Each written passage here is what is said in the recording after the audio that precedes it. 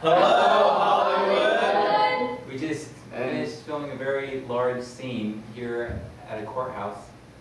Pretty exciting. In downtown Columbus. It's a legit courthouse, Connor says. It is. That And is just what it because I'm the best doesn't mean, no. says. It- It's, the it best. actually is the best. Right. We have, we It's have twenty-two people here today, twenty-two people.